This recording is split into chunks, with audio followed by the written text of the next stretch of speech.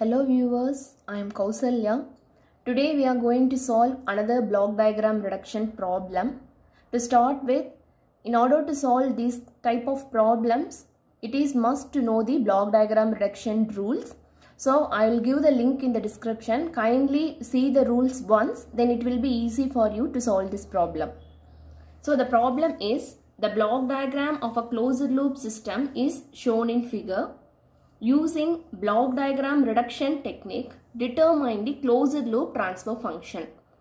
C of S by R of S. C of S is the output and R of S is the input. So this is our given block diagram. And this block diagram has two summing points, right? S1, S2. And how many branch points are there? 1, 2 and 3. Okay. So now our step 1 is splitting the summing point S2. Here you see to this S2 it has 3 inputs right plus plus and minus. Now I am going to split this summing point. So here the summing, summing point is splitted into plus plus and another, another one as plus minus. So this is our first step. Hope you people understand this. Right. And the remaining things remain as such here. The ne next one is step 2.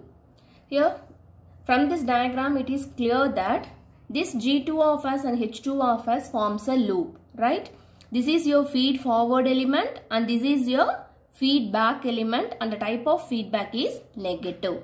So what is the basic formula? The basic formula for reducing a feedback loop is generally it is given as G divided by 1 plus GH. When the feedback is negative, we have to write it as 1 plus, right? So here in the place of G, I am having G2 of S and in the place of H, I am having H2 of S. So just when you apply this rule, you will be having in the place of G, G2 of S, right? So G2 of S divided by 1 type of feedback is negative so plus again GH so in the place of G I am having G2 of S and again in the place of H I am having H2 of S. Right. So now this feedback loop is reduced. This is our answer. And here comes our second step. And the next one is moving the summing point S1 after the block G1. So here, listen, we are going to move this summing point after this block G1. Right. So what is the rule to move this summing point after this block is, we are moving this line, right? I am going to move this summer point and to this summing point I am having this line which is connected. So when I am moving this summing point after this block, I have to include the element which is present here. So here G1 of S is here. So when I am moving this summing point after this block G1, I have to include G1 of S in this line. Right. So here I have to include G1 of S because I am moving the summing point from here to here. The next step is interchanging the summing points and combining blocks in cascade. So here from this diagram you see these two blocks are in cascade connection. So just we have to multiply these two elements. So when you multiply you will be having H1 of S into G1 of S and now these two summing points are get interchanged. That is this summing point moves here and this summing point moves here. Right. So here when you move this summing point over here, this line, that is this line will come over here, right? Listen. So here this H1 of S, G1 of S is connected to this summing point. So when this summing point moves here, automatically this H1 of S and G1 of S will move along with the summing point here.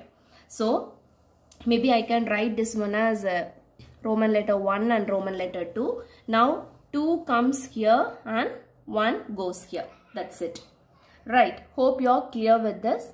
And our next step is, so in this diagram you see, this is your feed forward element and this is your feedback element, right?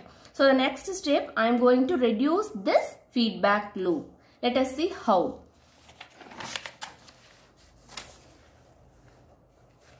So eliminating the feedback loop and here this is our element which are present there, present there. So in the place of G I am having this one and in the place of H I am having this one. So the basic formula is G divided by 1 plus GH, right?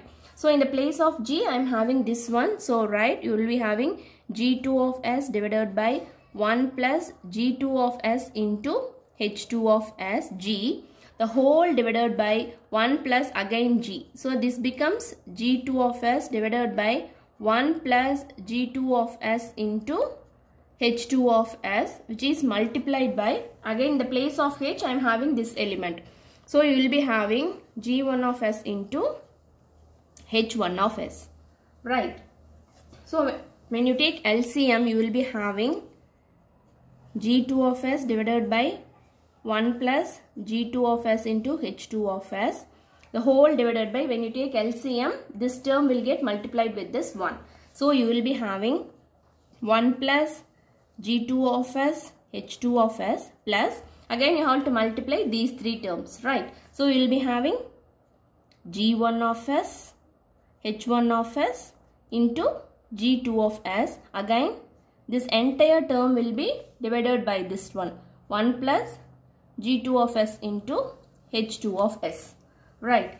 Again, the denominator terms are equal. So, they get cancel each other and the remaining terms will be our answer.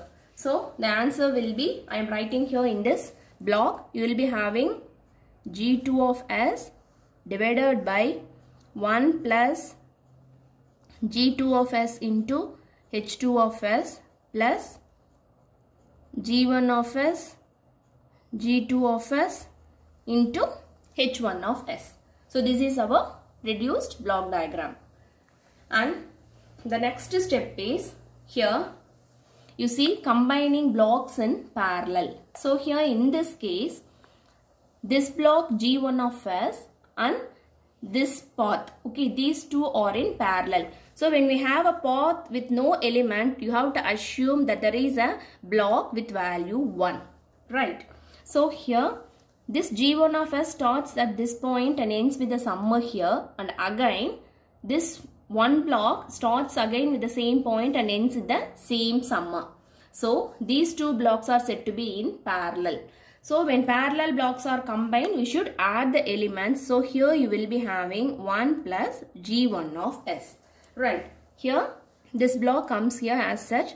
So you will be having G2 of S 1 plus G2 of S into H2 of S plus G1 of S, G2 of S into H1 of S. Right. So, now our final step is, it is clear right, these two blocks are in series. So, when blocks are in series, we have to just multiply. So, when you multiply, you will be having this expression as G2 of S into 1 plus G1 of S the whole term divided by this expression that is you will be having 1 plus G2 of S into H2 of S plus G1 of S, G2 of S and H1 of S. So this is our final transfer function.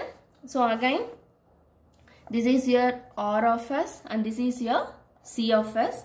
So C of S by R of S is G2 of S into 1 plus G1 of S the whole divided by 1 plus G2 of S into H2 of S plus G1 of S G2 of S into H1 of S. So this is our final answer. Hope you all understand this problem. Thank you.